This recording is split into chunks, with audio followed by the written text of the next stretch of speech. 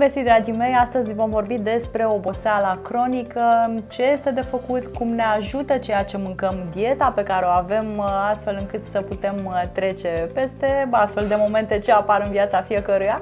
Uh, suntem împreună cu doamna doctor Ruxandra Pleșa, medic nutriționist. Bine ai revenit, Ruxandra! Bine v-am regăsit! Uh, hai să vedem, definim întâi ce înseamnă oboseală cronică, pentru că sunt convinsă, toți avem un stil de viață agitat, nu ne odihnim suficient, muncim poate foarte mult. Ne supra-solicităm. Ne supra-solicităm. Când ajungem în oboseală cronică? Când, de exemplu, ne trezim, uh, auzim ceasul și nu ne închipuim niciun pas fără o cafea atunci deja se numește că suntem obosiți. Eu credeam că deja de la trezire. ceasul și nu-l auzi. Eu îmi pun vreo trei da. alarme și am momente în care n-aud prima alarmă sau închid în somn și da. mă trezesc abia la a doua sau la a treia. De mai mult somn. Ești obosit cronic când nu funcționezi fără un uh, excitant, fără un ajutor care de obicei este cafeaua, de obicei sunt sucurile bazate pe, mă rog, uh, cola și, și așa mai departe.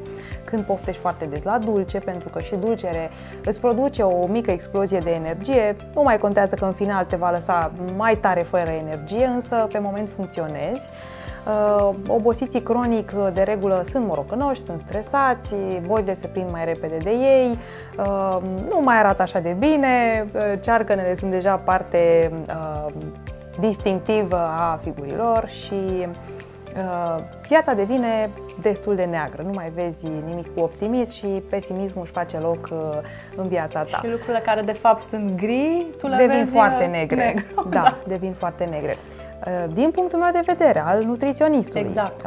oboseala dieta? cronică apare și într-o dietă foarte severă de slăbire, în special diete repetate, diete ținute pe termen lung, care presupun un aport insuficient de proteine. Acestea ar fi primele componente majore care atunci când lipsesc pot să ducă la oboseală cronică.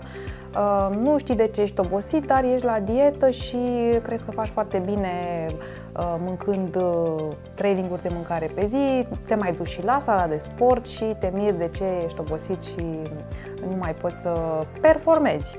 Și nici nu slăbești Și nici nu slăbești, bineînțeles. Se întâmplă organism... uneori chiar să te îngrași. Așa este, un organism stresat nu vrea să dea din uh, rezerve, ci vrea să se asigure în primul rând că trece prin acel stres, care poate să fie alimentar, poate să fie emoțional, uh, psihosocial și așa mai departe. Bun, uh, ce e de făcut? În primul rând, în starea de oboseală cronică, trebuie să te întrebi dacă nu cumva sunt și alte afecțiuni care pornesc de la o dietă deficitară, cum ar fi, de exemplu, o anemie. Se poate instala o anemie feriprivă prin deficit de fier, mai frecvent în cazul persoanelor care sunt, sunt vegane, sunt uh, uh, în diete vegane prost echilibrate, da? și asta înseamnă o anemie și prin deficit de fier, însă și prin deficit de vitamină B12 și acest deficit duce la anemie. Anemia înseamnă mai puțină oxigenare a țesuturilor, a organelor um, și acel organism se va simți obosit în mod cronic. Um, Oboseala cronică apare și în cazul deficitului de vitamină D, de exemplu, sau uh, în cazul unor deficite asociate de micronutrienți, tot pe seama unei diete proaste.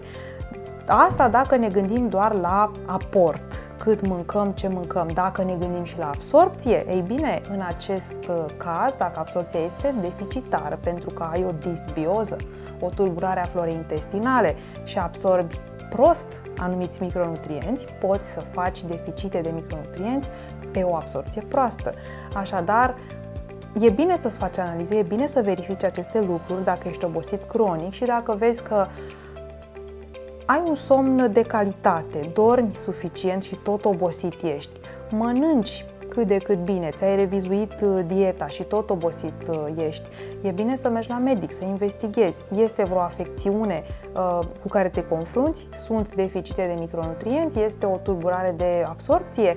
Toate acestea rând pe rând trebuie să fie investigate, iar în acele momente, să spunem câteva luni de zile, este bine să te ajuți cu suplimente. Uh, suplimentezi cu multiformule de calitate pentru micronutrienți, pentru vitamine și minerale. Ele funcționează foarte bine atunci când sunt administrate împreună. Însă există și plante adaptogene care pot să te ajute în, uh, în stări de epuizare, în stări de epuizare fizică și în special psihică și putem să vorbim aici de rodiola, de ashwagandha și așa mai departe. Așadar, un program de suplimentare pe durată scurtă până când dieta ta este complet revizuită și este uh, reparată și, uh, mă rog, începi să duci un stil de viață sănătos, da, pot să fie de ajutor pe, pe moment. Bun. Uh, spuneai pe moment ar trebui totuși să mergem la medic, nu? Și Sigur să, că da, pentru că suplimentarea se face să ne de regulă un program cumva un plan, da, personalizat. Da, pentru că există interacțiuni între suplimente, se administrează pe, pe anumite perioade, e bine să citim prospectele, să nu exagerăm cu anumite suplimente, unele ni se potrivesc, altele nu și așa mai departe. Uh, e bine să fie făcute cu un ghidaj toate aceste suplimente, însă sunt de un real ajutor pe uh, pacienții uh, care se confruntă cu oboseală cronică vor funcționa foarte bine în, în astfel de momente. Mulțumim pentru sfatul, Ruxandra. Cu Bine ar fi să nu ajungem în oboseală cronică, însă dacă ne recunoaștem în manifestările pe care tu le-ai spus, măcar știm ce avem de făcut, luăm legătura cu mhm. uh, un medic care ne poate ajuta și... Mâncăm mai bine, dormim, dormim mai, mai bine, ne exact. relaxăm. Bun. Ideal este să da. aplicăm tot ce spunem, mai greu însă, dar merită încercat. Mulțumim și uh, te mai așteptăm aici la Ziarul de Sănătate. Rămâneți uh, cu noi, uh, dragii mei, avem multe să vă povestim. Um, rămâneți sănătoși, voioși, aveți grijă de voi, să dormiți bine, așa cum a zis doamna doctor, să vă hrăniți corect, să faceți mișcare, să aveți timp și de relaxare, pentru că vrem să rămânem cât mai mult timp sănătoși și frumoși. Pe curând!